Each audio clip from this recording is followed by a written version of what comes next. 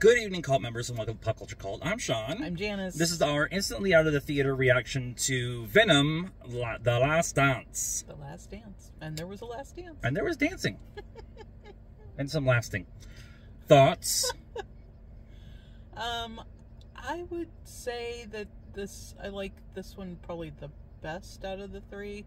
Um, if you watched our other two reviews, the the first one we were pretty pretty lukewarm on. Um, the second one we thought was better. Um, and this one I think is for me was the best out of the three. I agree. I agree. Um, the my complaint about the first one was not getting the Eddie and Venom bickering back and forth, and most of this movie is about Eddie and Eddie and uh, Venom just talking to each other. And, and bickering back and forth and fighting over things and fighting over the body and playing slots and I'm and I'm here for that story. Um, some people complaining about this movie doesn't make any sense. I don't think it's supposed to. I think you're supposed to go in and have fun with this. I don't think any of them made s- to me. None of them made sense. Right. These are these are let's let Tom Hardy be funny and have some fun in the theater. And that's exactly what this was. So I had that expectation as I walked in the door. Just go have fun with it. Because there's some continuity areas errors that I found which I never go looking for in the first viewing. Now the seventh viewing or the twentieth viewing or whatever, then I'll pick it up. But there was some stuff that happened and I'm like, that's not quite right, but I don't care. The joke makes is better because they took the right version. And if the continuity in the background wasn't quite right, it doesn't matter. The joke landed with me. Yeah. I you know uh, it's um it's Sony being Sony. I mean there was uh, uh, several, not all at least, but several of the biggest jokes, you know, you saw in the trailers over and over and over again. Um, some of it got kind of moved around a little bit or not quite the way you saw it in the in the trailer, so that was good. Um, and they definitely uh, they need to fire their entire editing company. Yeah. Stop. Stop. Yeah. Cuz there yeah, there was some some parts where I was like wait, what? And and to be completely transparent, one of the best edited things we've ever watched, we watched last night in Agatha All Along. Mm, So that was all in our heads going into this, and it didn't detract the for the movie for me. Now, am I gonna give this a big score and say it's amazing and all of that stuff? No, but I'm gonna have a lot of fun when I go watch it again.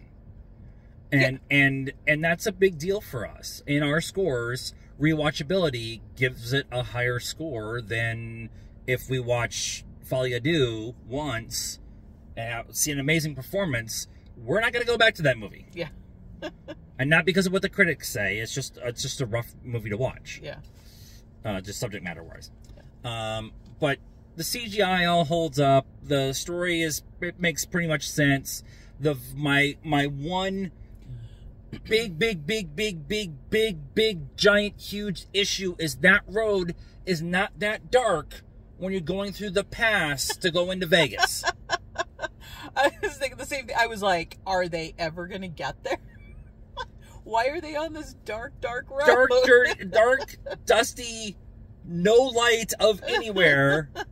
that is and not the road to Vegas. Pan back over the hill. That hill is lit up, just like yeah. That's such a Vegas a, bunch, of times. I've been through that pass a bunch of times. Uh, but I really enjoyed this movie. Uh, I I would say, as fans that we are, to tell you, you're going to have fun with this movie. If you are looking for Citizen Kane or The Joker or something like that, this is not that movie for you. And as long as you understand that, save your money, go see Wicked Yeah, I mean, if or you- Gladiator. yeah, if you don't have a lot of options to go to movies, this may not, you know, you may not be super excited that you used it on this one. Um, I, we did have some kids. We went. This is Thursday, Thursday night, so opening night. There were some kids in the audience. It's not a, it's not bloody. I mean, it's the same as the other, but there is some cursing that. Um, I mean, they dropped an f bomb once. They so- used the perfect one f bomb you get for PG thirteen. it was so well done. Yeah. Um, but yeah, I mean, it was fun. We'll probably watch it again. Um, don't talk in the movie theater, people. Both sides of Both us sides. talked very loudly through Both. the entire movie. And everybody had very deep voices, so Yeah. they all carried very well in our Yep. theater. Yep. Score Ah, six point seven five. seven. So we're in the same kind of ballpark. I'm interested to watch this again just to see the things we missed. There is one mid-credit scene and one post-credit scene. I have no idea what either of them mean. I'm gonna go Google it right I- now. uh, and one thing I will tell you before uh, we get out of here is uh, go read Marvel Comics King in Black. And until next time, cult members, let us know what you thought of this uh, review in the comments down below. Please be nice. It's a requirement. That's a requirement. That, be nice around here. That's a requirement. Hit the bell for notifications. Subscribe to the. It's free. Helps us.